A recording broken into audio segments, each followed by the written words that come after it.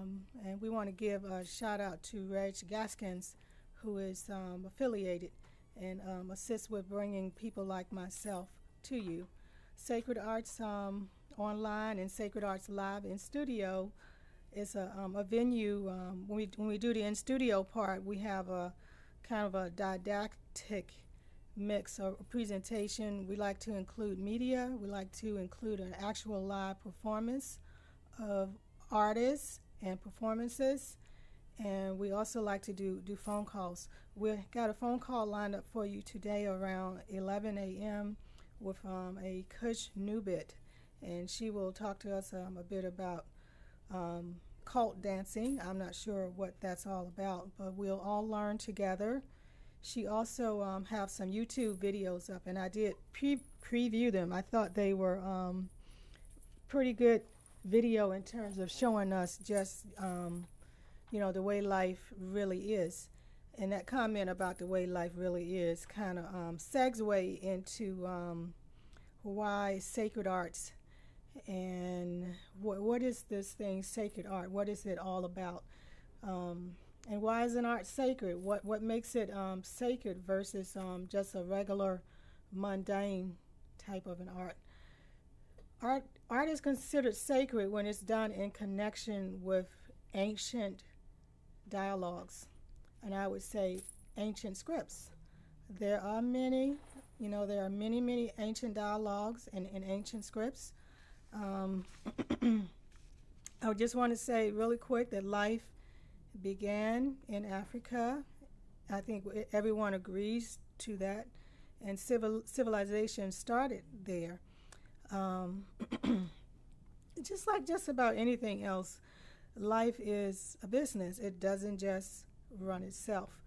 When life runs itself, you know, that's what it is. That's life running itself. But there's also life that is done in connection with, um, you know, the dialogues that have been here on this um, earth, assisting human beings to reach their full, their best, their greatest.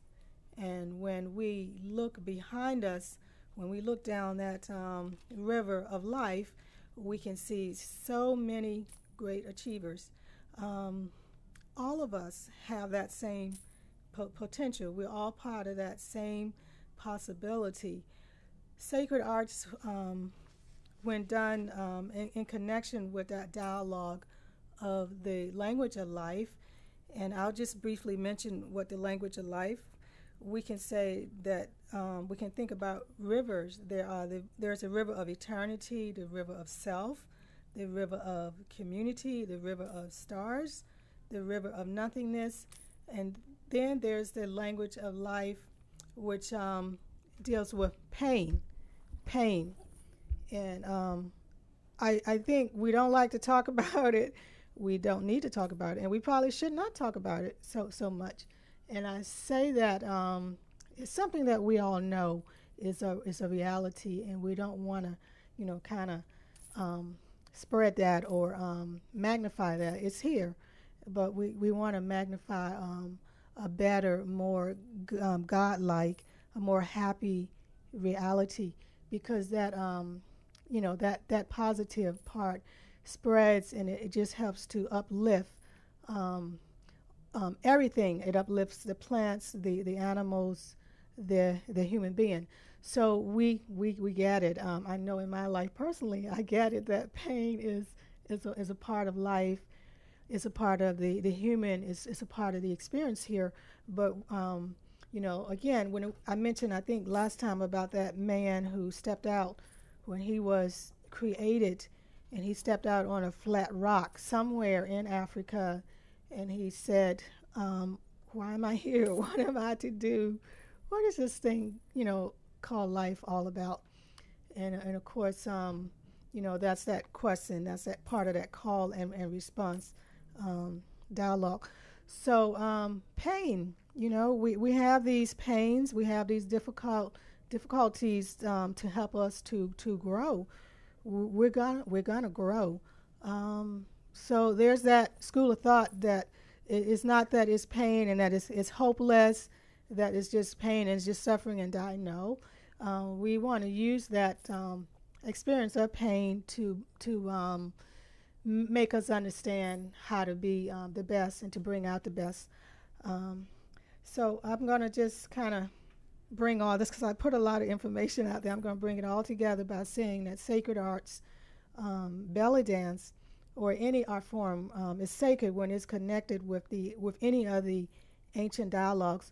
And if you want to think about connecting with one of the, the best, we think about the original um, dialogues that help man to, um, you know, bring his life up to where it is to today, which is a really, really grand scale. Um, we talked about the languages of life. Um, so I want to go into something I just picked up when I arrived this morning here in the studio, which is again, it just shows how every, everything is one. We're all connected. Black Tear Society is a ray of inner city sunshine. For out of the language of pain comes empowerment through education, inspiration, and life affirming motivation. Poet Danny Queen. Totally unrelated to my material, but it just fits right within that ram when we talk about life. And then I want to um, present a, a poem. This is a poem, I did not write it. I do write uh, wisdom poetry. I do have that. This is by um, an, another um, person, and there's a website con- connected. That's the language of sages.com. Anyone who wants to, wants to know more. This is about um, heaven. This poem is called Heaven is a Chameleon. In the beginning, everyone could talk, including newborn babies. No one needed comedians because babies always made people laugh. They often called a dog a goat. Sometimes, if they saw a cow, they would shout, Look, mommy, a big dog with horns. Babies took advantage of their unique position as the angels of heaven on earth to wash heaven's laundry in public. So heaven decided that henceforth babies would lose their power of speech. It poured salt water into the mouths of babies to refrain them from speaking. This is why, to this day, any time a baby tries to talk, water starts dripping out of its mouth. When they come of age, babies learn to speak again.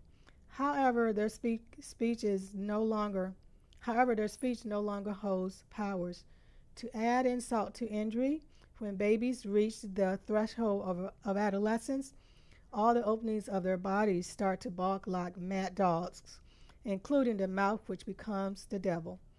It is as if the price for growing up, babies must lose the bond with heaven. We of the earth live only a partial existence because heaven reveals to no one what it will do. Even those who pride themselves in the knowledge a way to be guided by children whose joyous innocence is the only thing that can bring heaven to its knees, forcing it to reveal some of its secrets. Heaven does smile at all, never getting mad at anyone. However, tempting heaven is worse than casting a spell. An old woman who says, Oh, heaven, eat me, and the leopard that says, Oh, heaven, what shall I eat? Heaven brings them to, together heaven gives out differently. You cannot tell about silent people. The toad lost his friend in summer and wept in winter. The deeds of heaven and the smile of a dog one does not understand. Our best prayer should be that heaven need not be ruthless. After, do- after the dog eats the stolen food, it should not cover the cooking pot. The chick loved by heaven will grow up, though motherless.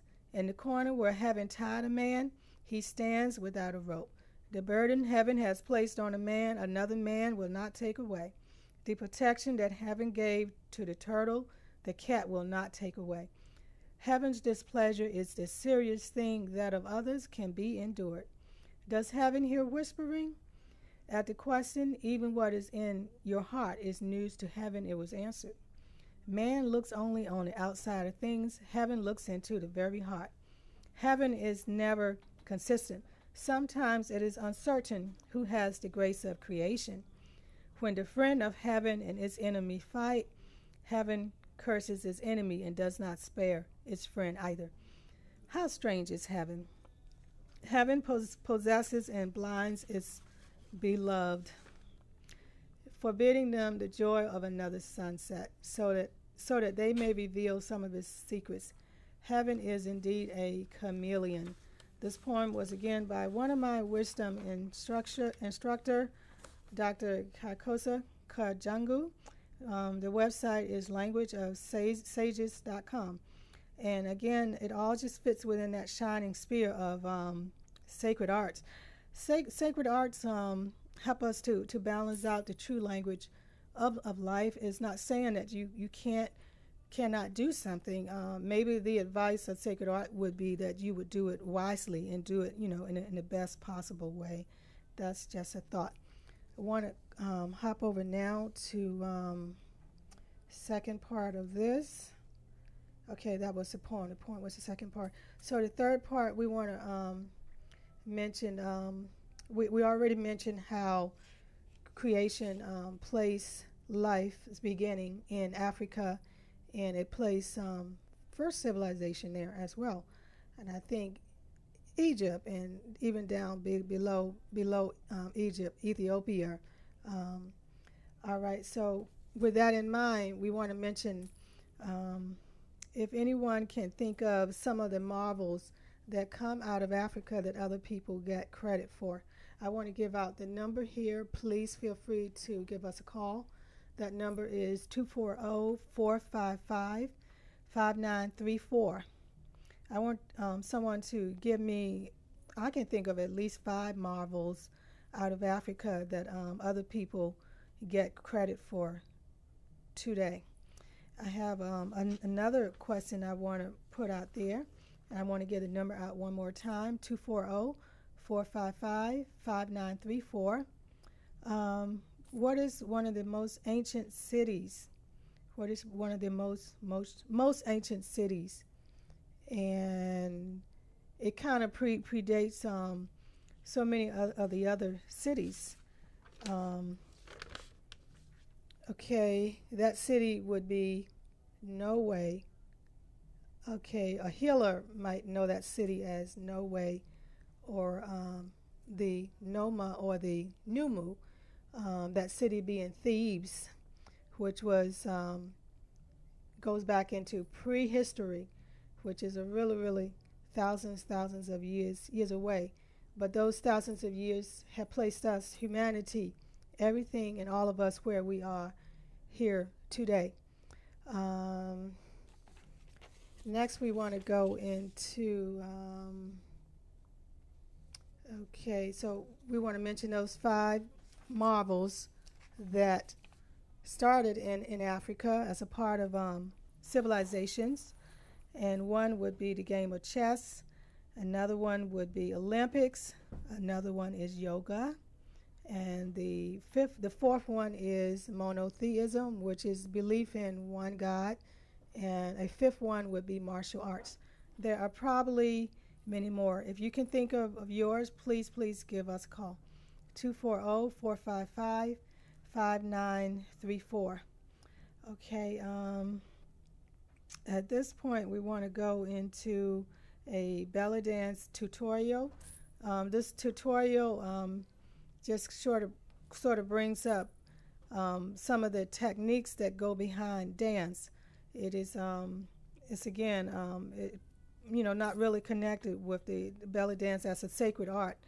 Sacred Arts Online, you know, brings belly dance and performances, um, you know, as, as a sacred art. So again, we want to keep it um, kind of connected with the dialogue of the language of life.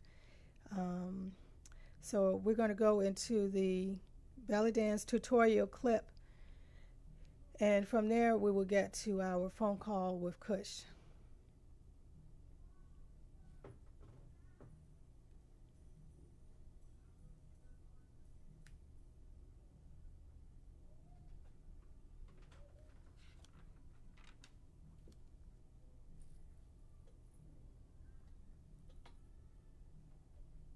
And this is a YouTube video.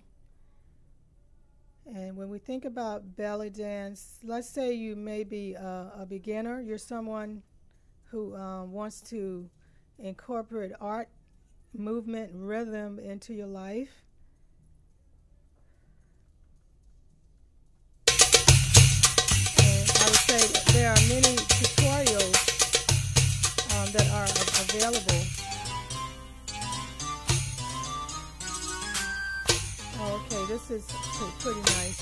This is pretty nice.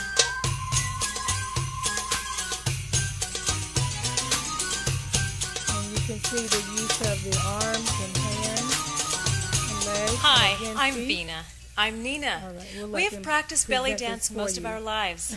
belly dancing has always provided us a way to not only stay healthy and fit, but a way to keep relaxed and open. Today we want to share with you these extraordinary benefits. In this video, we will teach you the basic moves needed to learn belly dance for fitness.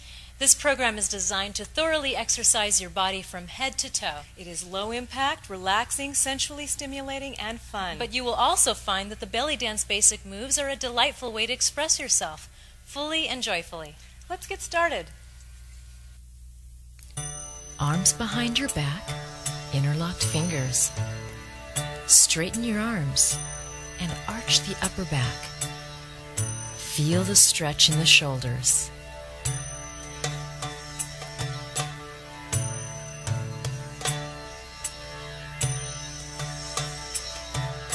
And cross down, up, down. Breathe. Exhale, in.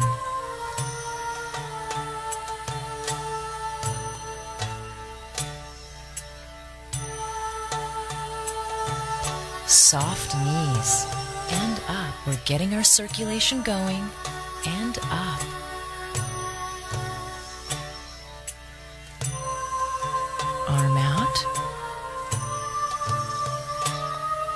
Stretching the side of your neck. Relax and breathe. And down. Soft arms. Other side. Arm out and stretch.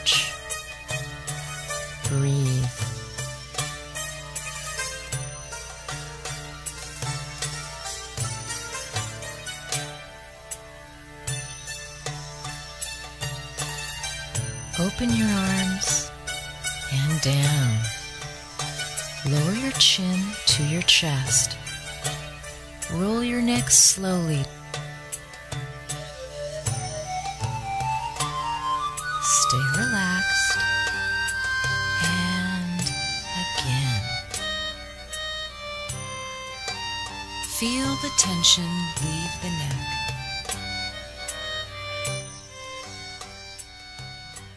This is an, I think, what I think is an excellent um, Without turning or tilting your dance head, tutorial. slide your head And I'm recommending it for beginning um, Forward to intermediate and back, dancers, ladies, gentlemen, everyone, muscles, kids, isolating um, just who, who are out there listening. Um, it's, it- it's making me feel relaxed already just just watching it here in the studio. Now to the sides. um, and so some of the Slide highlights that they have touched on, an imaginary um, plane stretching, as if the head um, is separate the movement, from the body. body isolation of hips, of arms, of head and neck. And this video is at a nice pace. Um, so sometimes it's really great to go at that if you're a arms, beginner or intermediate.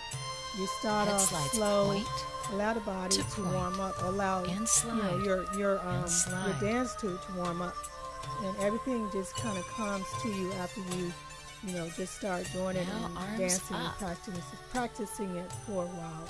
So we're going to go back to this clip, slide. and I want to give out the number Slide. 240-455. 5934. Please give us a call. Let us know what you think about anything that you're seeing or hearing. Reach with the back of the wrists and up.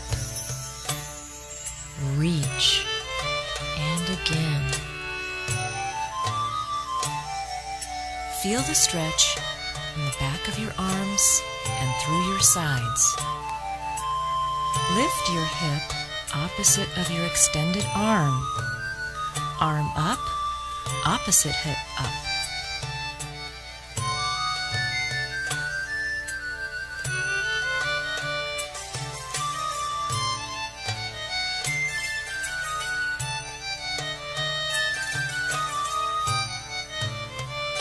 Feel the side stretch and the waist separate from the hips. Lifting the opposite heel. Gradually lowering your arms with fluid movements, keeping your fingers soft.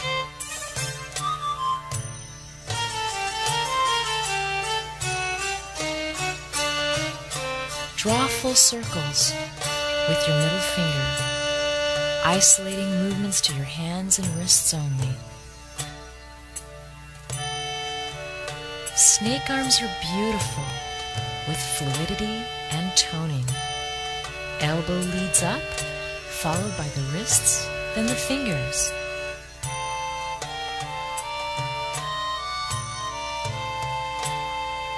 Initiate the movement with the elbows, keeping the feeling of resistance. Imagine your arms treading through water. Now the other arm, Elbow, wrist, fingers.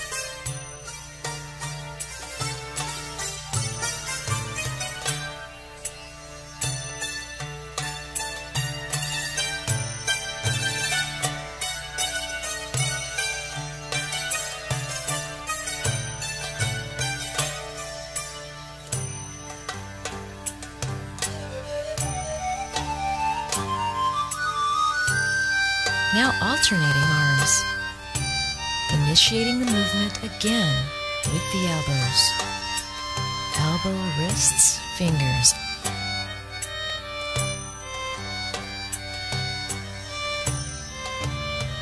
Feel the rhythmic movement through the upper back and shoulders.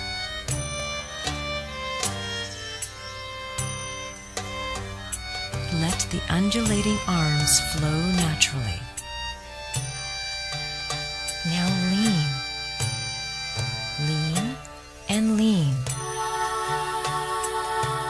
Shifting your weight and bending your knees. Stretching your side muscles or the obliques as you lean.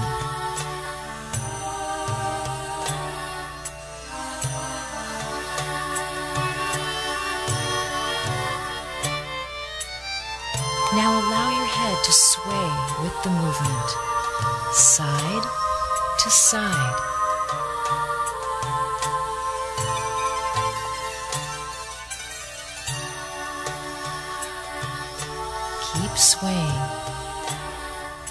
Great for your whole body. Feel the movement down through your thighs, transferring your weight from leg to leg. Slowly rotate your shoulders through a full range of motion. Up, back, down, and forward. Feel the neck or trapezius muscles relax.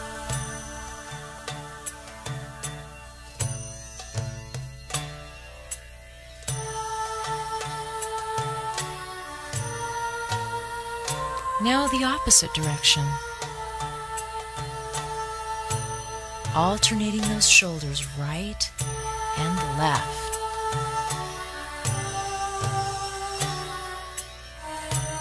Shoulder rotations feel good and sensual.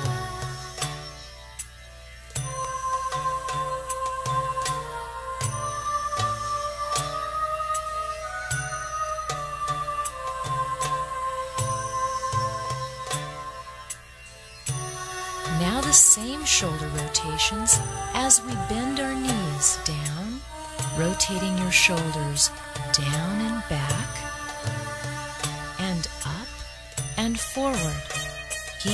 heels on the ground and knees aligned with your toes. And straightening and shoulders forward.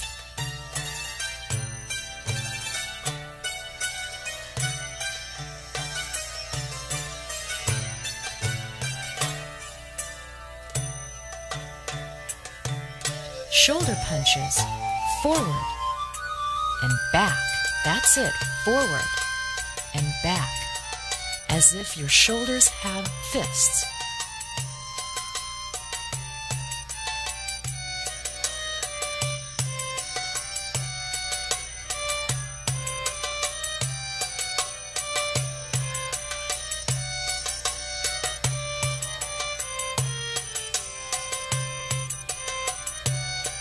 Now the other arm.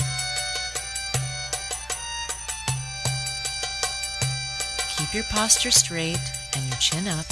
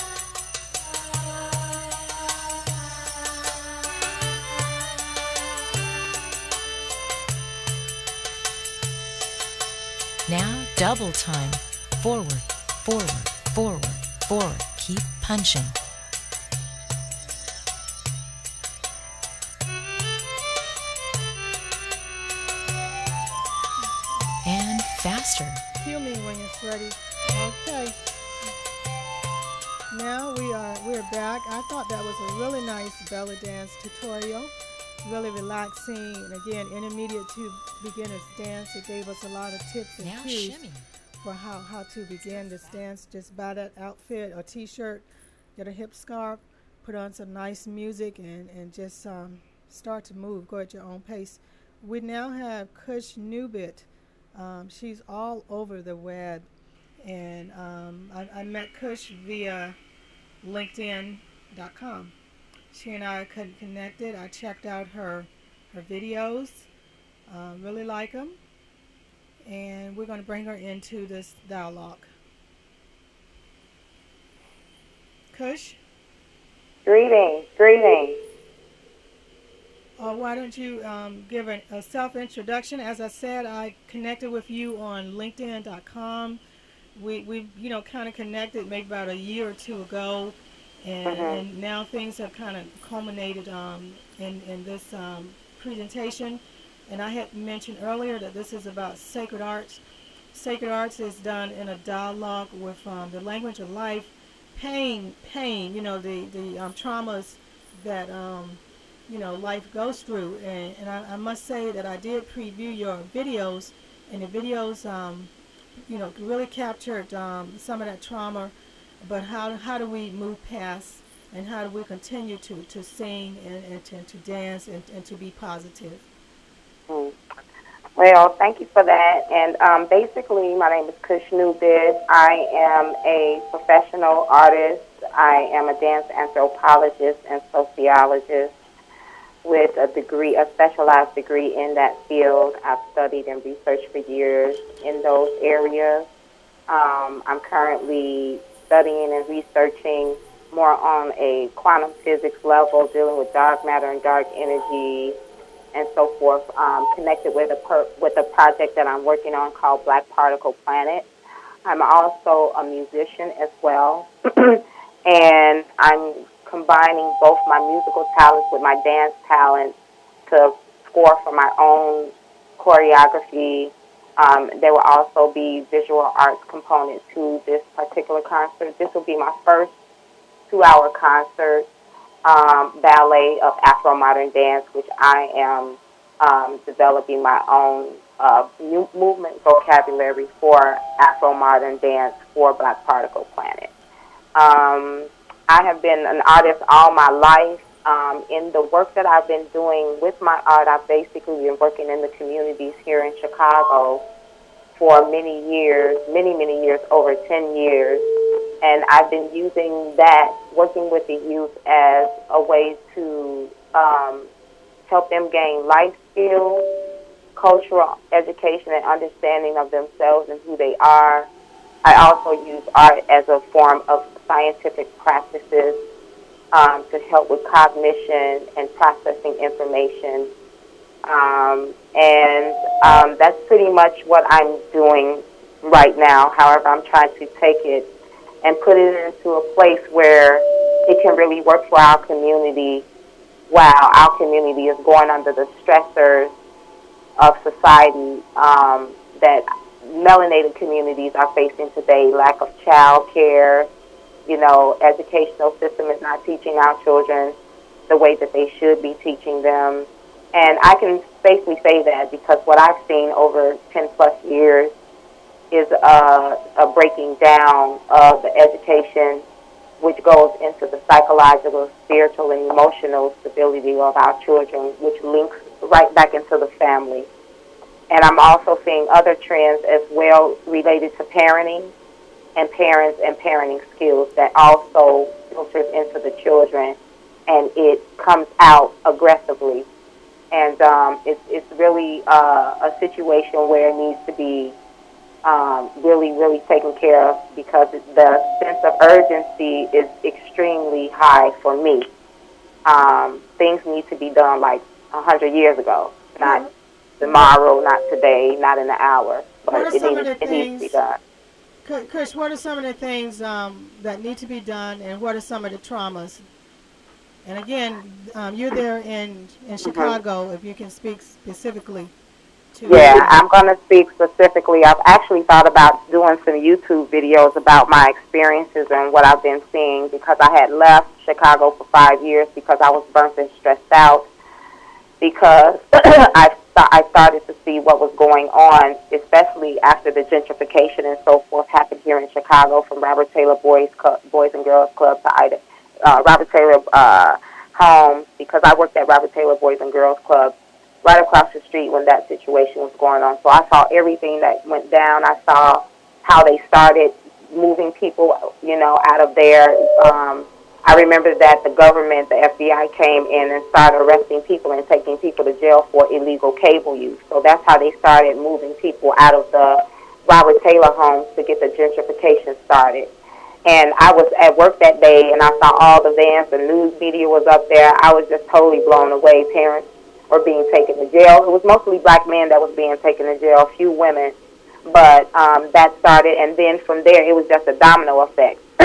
but since I've been back, I have been seeing that I work in a child care center, and I'm going to be recently, I'm going to, in the next two weeks, be leaving from here because this child care center is closing due to the high competition of Chicago public schools taking on child care.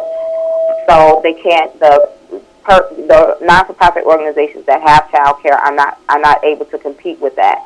So it's being affected. Firman, which is the organization I've worked for, has been in the Bronzeville community for over 140 years, and now they have to close because lack of enrollment.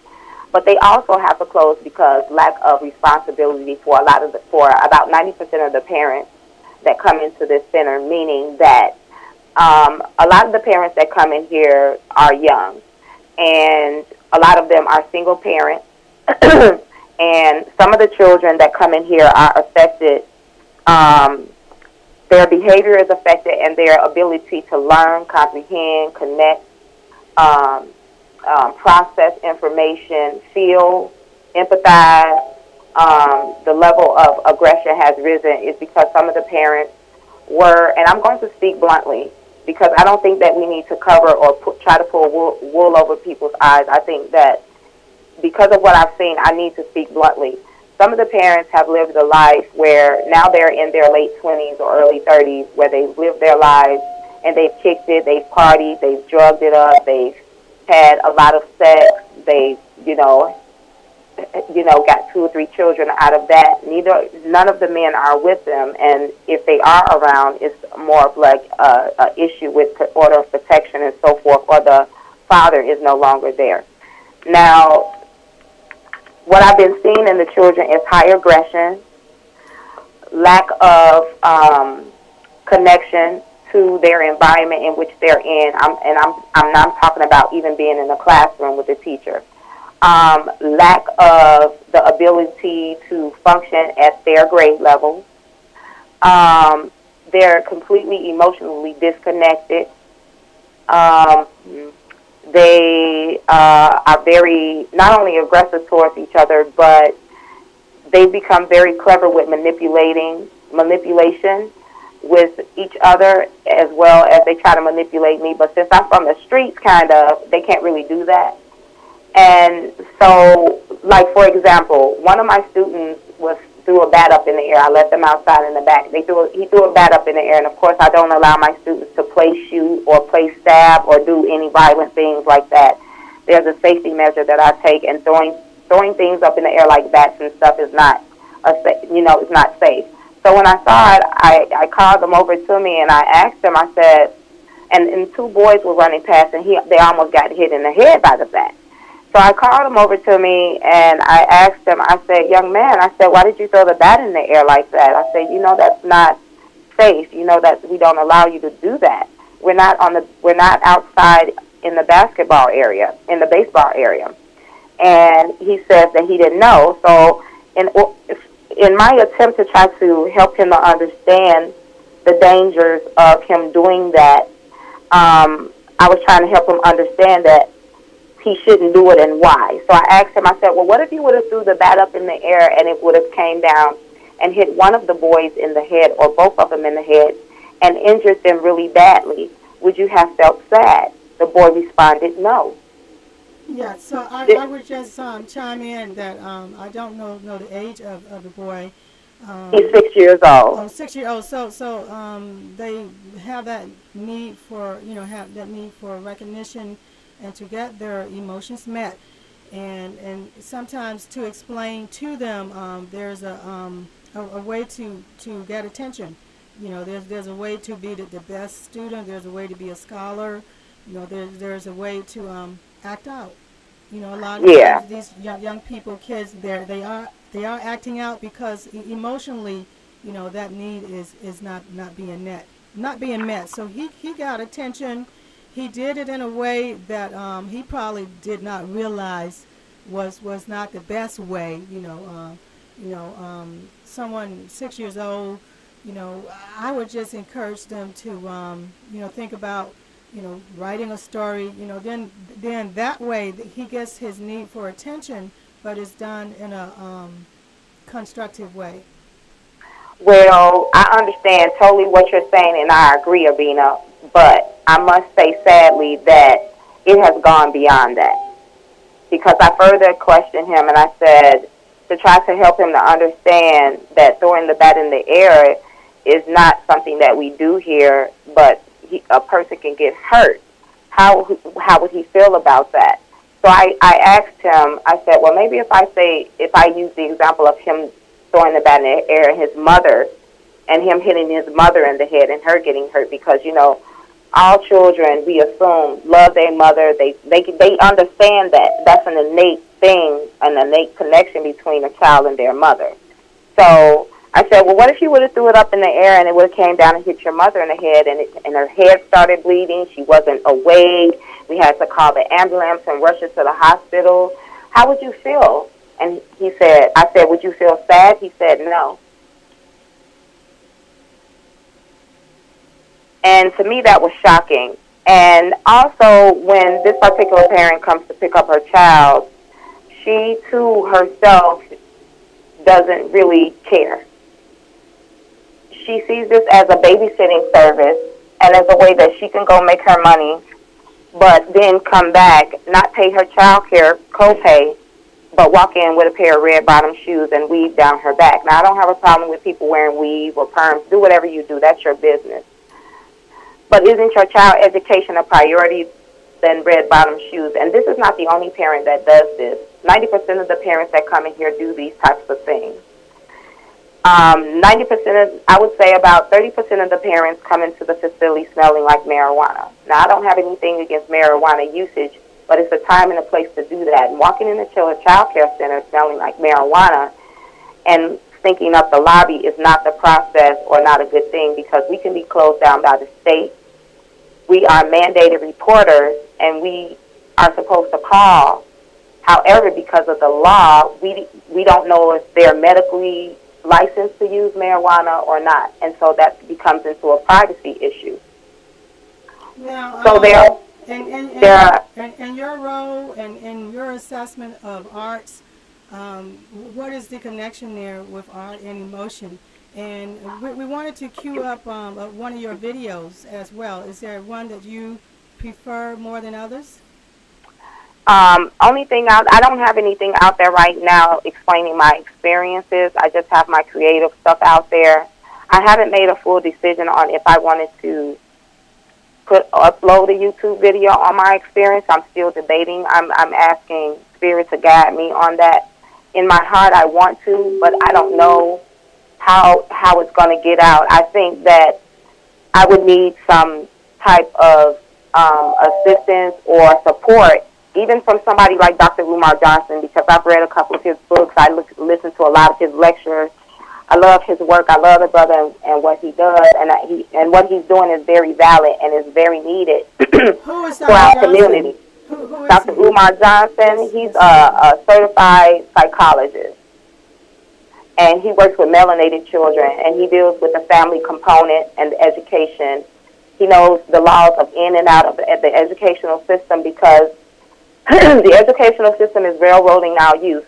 Now, if it does not apply, let it fly. And, and I'm going to speak very honestly. Now, when you are in school and you get student loans, there are particular programs that you're able to get into to have full student loan forgiveness. One of those things are if you teach in an urban school for a total of three to five years consistently, your student loans will be wiped out and totally forgiven. Now, I, I've worked in Chicago for over 10 plus years working in nonprofit organizations, Chicago Public Schools, writing and developing curriculum. When I walk into a school in our community, I see a lot of European teachers, and most of them are female. But when I come to my job and I and I get their homework and I tell them to break it out, and I I work with ages six to ten years, six to twelve years old, and they're not able to recognize what a, the letter G is. They're writing their J's looking like C's with a dot above it. They're writing their letters backwards. Um, they don't know simple three-letter words like the word fox. If I give them instructions to simply write the word up at the top and write write one, two, and three to write your your word three times a piece to practice, and they can't comprehend or follow that instruction, then that bothers me. And when you're sending ditto home, ditto sheets home with barely any instruction, and the words hardly being read, to me that's lack of quality work from a teacher. But why is it a consistent thing? Why is it always happening? And this has been done been done for years. And the result to me is is that our children are not getting educated fairly. When I go over to the schools or when I'm in in the schools around these teachers, they're rushing to get them out of the class. They're rushing them to get them out of the school. They teach they treat the school as if it's a babysitting um, center. Now, as far as arts are concerned and how that connects with the emotional and spiritual aspects, not just with children but with youth, because it's a part of who we are as a people. And I'm specifically talking about melanated people. And when I'm talking about melanated people, I'm talking about people with a hue in their skin. And that ranges from all over the world. Now, how this connects in is because not only is it, has it been a part of who we were as a people, if it's a part of who we were as a people, then that's something that's innately bound in our DNA. And as far as on a cosmic level, if we are a part of the cosmos, then then we have cos- cosmic DNA that we can trace somehow, whether if it's through the akashic records or on a spiritual realm, because you can't put it under a microscope. At least not with the technology we have here on this planet in this dimension. So it's, it's, it's just that simple. We're connected to it. And so a part of the strategy with making sure that whatever plan for the society that runs the society now that has white supremacy, white privilege, and things of that nature, a part of their plan was to take out arts and after school programs in our community because we had a lot of it. Once those things were taken away, the crime rate and the level of violence increased with our children. And we can see that on the news. They're no longer fighting each other in outside of the school. They're killing each other in bathrooms and shooting each other outside in the parking lots of schools. And why is this? Because they're getting the children out of the schools and there's nowhere for them to go. And the organizations that are offering after school programming are being closed down for the simple fact that Chicago Public Schools have taken over a lot of that and offering free child care to parents. So why pay when you can go and get free child care for free? Now, a lot of these parents come in are single parents, don't have a job, don't have a GED or a high school diploma because they haven't done and have been responsible for with uh, for their own lives and as it relates to their children, or haven't changed it once they had found out that they were with child. They haven't changed their lives to prepare for a better life for their child, so their child wasn't their priority. And all this has come down to not only the parenting skills going down and being at a low, low level, but the child's quality of life from the mental aspect to the spiritual aspect has been taken down to a point where our children, some of my children cry at the instance of me mentioning homework to them. One young man came in, he, he destroyed his homework and lied about it, saying that glue wasted in his bag. I looked in his bag, there was no glue.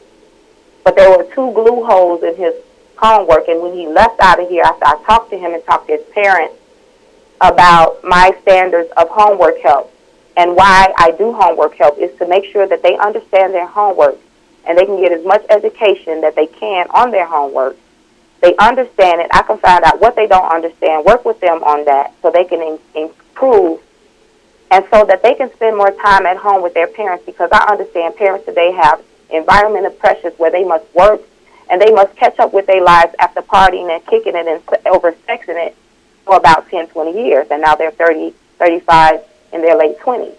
Now, now Sham, I have another point. Um, how do you see media um, such as um, you know, visual art and such as this um, program that we are bringing to today, is there a connection there, um, you know, in terms of art and uplifting, enhancing um, someone's life? Well, yeah, there's a great connection there because we, we are humans, and so we use our senses as a uh, our senses are used as one of the com- tools that we connect in the world with.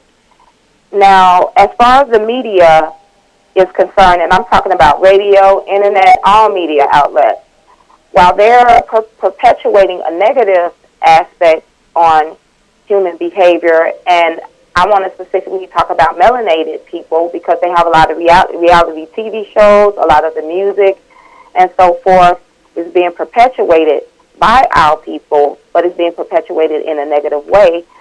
Yes, it affects as far as I'm concerned, when music is made on the mainstream level, they take the music and they give it to another organization, and they change the hertz in those in those levels, affecting the mental aspect and the spiritual and emotional aspect when a person hears it. Okay, you can do experiments, listen to some music, and just really hone in and see how it makes you feel. I can listen to some music and I need to turn it off because I, I get mad or my eyes turn red or I can't sleep. So I don't listen to particular music because it, it agitates my energy. So with the music that I do, I also manipulate the hurt. I manipulate it in a way where it could be a healing process while you may be listening to some good beats. Now, of course, in the lyrics that they put out there, it's highly sexual. I've been researching and listening to a lot of the music that's out today. And the music is so highly sexual that a child that's listening to it, even an adult, doesn't have to go to porno sites or anything. They can just listen to that song. And the lyrics are so explicit that you can see it in your head. Okay. There's a song that Lil Wayne sings with a, a woman rapper. I forget her name at the moment. But it, the song is called Hennessy and, and You and they're they're singing about how they they drinking Hennessy and having sex. And she explains about how he stops and then he beats it again. Now, anybody that has had sex and know, we know what they're talking about. But if you have a child that has been watching and has had access to sexual explicit images and, and, and audio, when they hear that, they can put two and two together. What does that do to the mind and the personality of a child who hasn't even had sex? Or hasn't even been educated about it to even know what it is. And I'm also seeing that there are sexual traits coming out in our children because in the household, when they go home, they're seeing and hearing sexual conversations. And it comes out in their behavior. Okay, Kush, you have really um, informed me. I hadn't thought about um, the situation where media creates explicit images. Um, I guess because I'm connected to my to my own um, thoughts, and and that again, um, beginning of this program today, I talked about belly dance or dance or any art form being sacred, and it's it's sacred um, when it's in a dialogue with the languages of life. One of the language of life is is pain, um, you know, eternity, the river of stars, any of the any of the ancient scripts that um, you know came about to to place um, man, to place um, civilization on its path of, of um, creating greatness and creating um, great great human beings. So I, I, was not really so focused on the way that that media is is um, you know being used in that opposite manner. And I also appreciate um, your idea about the, the use of our senses to connect us up to the world. That's another thing I hadn't even even thought about it um, that way. That um, you know, media, the, the use of our senses to connect with the world, and and um, in a way that it creates on a mental, spiritual, and a physical level um, a person. So um, I really do appreciate um, all your input It has really just been um, so enlightening for me.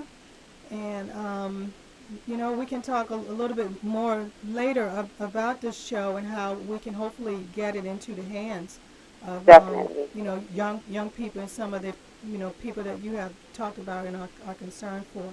We want to mm -hmm. kind of um, close out. Um, if you can give us a few more minutes of your perspectives, they are mm -hmm. just truly awesome. You know, again, you've given me insight and some thoughts I haven't e even thought of, and you're keeping us, um, you, you know, to, to know what's really happening and why. And I really do appreciate it because sometimes we can get off into our own world and, mm -hmm. and we mm-hmm. don't fully grasp why someone, someone is, uh, you know, what's happening to someone else. Mm -hmm, mm -hmm. Well, I just wanted to share. I just wanted to say thank you for having me here. I'm, I'm, I feel so favored and everything for even being able to share what I've been able to share because this gives me an opportunity to share the information because some, I've been bottling it in up so much that sometimes I cry. And me and my supervisor have talked about this, and she totally agrees, and we've cried together. But I just want my people to know out there that this war, we can be victorious in it and I, I and I'm going to say some things that people may not like, but if anything ever comes out where it comes to a catastrophic situation, some some melanated people will have to die because some melanated people are not representing or doing what they're supposed to do when it concerns us as a group. Okay? I also want to say that separation right now for us is the best thing that we can do for ourselves. For the simple fact that we've been going through, we've been put through so much turmoil from day one when we met the cave dweller, in spite of what we were doing to ourselves, which was not much at the time, that it's been thousands of years and we haven't had a break. And the pressure is being put on even more. And everybody says, well, how can we solve this racial issue? And I said that I would say this in my in a lecture demonstration, but I'm going to say it here on this show. This is my solution, and people may think I'm crazy or not even agree, but this is my solution. For those people who do not like melanated people, black people, African American, or whatever you refer us to, niggas, you know, coons, or whatever, if you hate us so much and dislike us so much and want us off this planet or go back to our country, do us a favor why don't you just go on one side of the planet? We'll take one side of the planet. We don't want any money. And come back and see us in 2.5 million years from now. And then we can sit down at the table and have a conversation. No contact of any kind. That's my solution to racism, the white supremacy, and how black people can get back on their feet and heal we need to show up at our own hearing. We need to deal with each other face to face without any intervention or any any anything from any other anybody else. And then that's when the healing can start.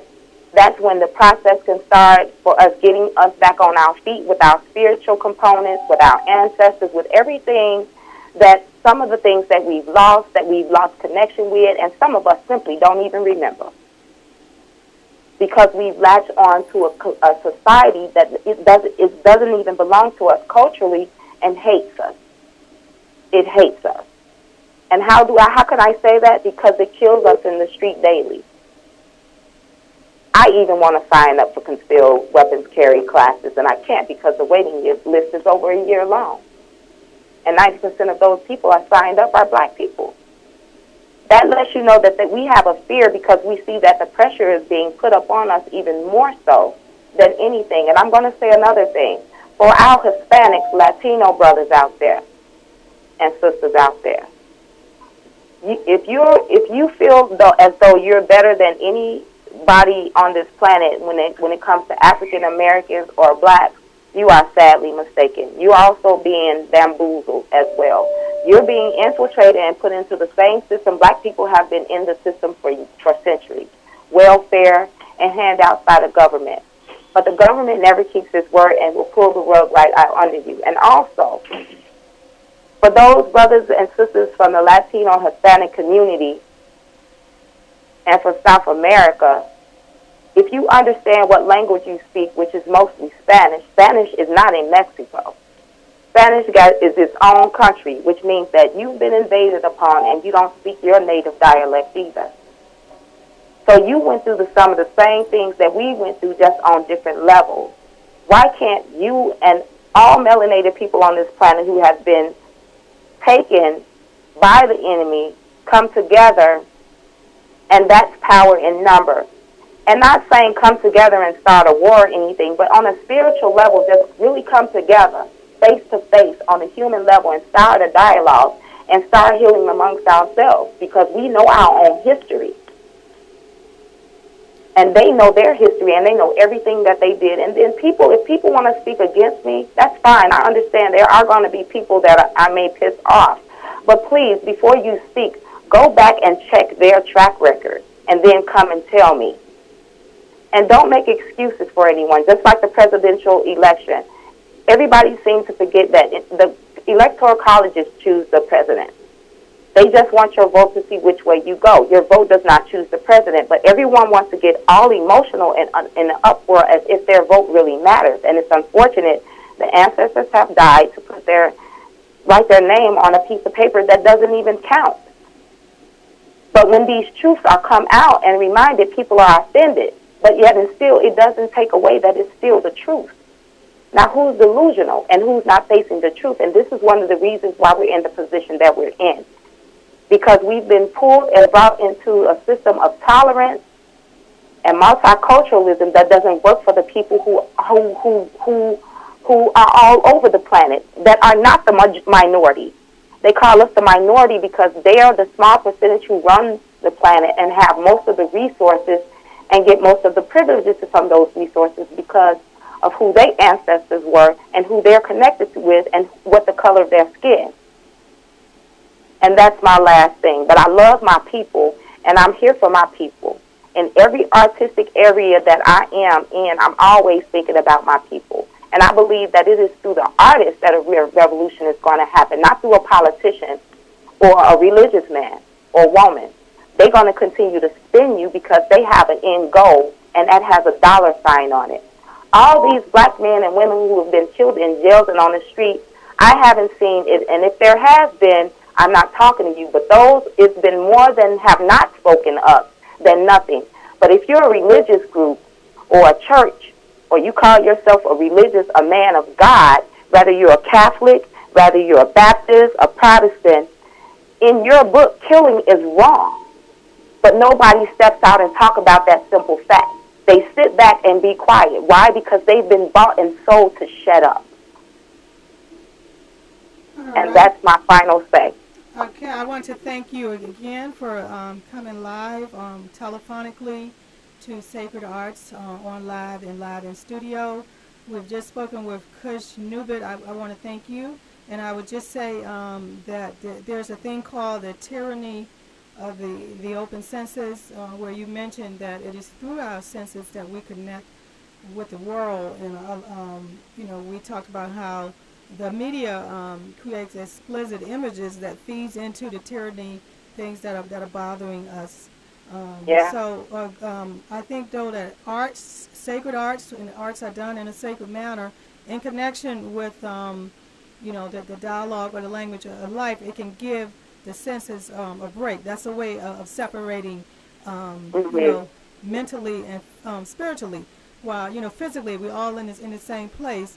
But if, if we want to, um, you know, en- engage our thinking, our our minds, um, you know, um, indulge in, in some of some of the um, the dialogues that have been here, that went into creating um, the civilizations that came, that started in Africa. And I, I want to say this again: uh, Black Tear Society is a ray of inner city sunshine. For out of the language of pain comes empowerment through education, inspiration, and life-affirming motivation. This was poet Danny Queen. The last part of the show is a performance by myself, and we, we shall move into that performance, and we'll have the belly dance tutorial, which um, is, is not connected with any sacred art, but it is a belly dance um, instruction, giving you some of the techniques and just some of the um, you know the steps, the one, two, three, some of some of the recipe behind dance.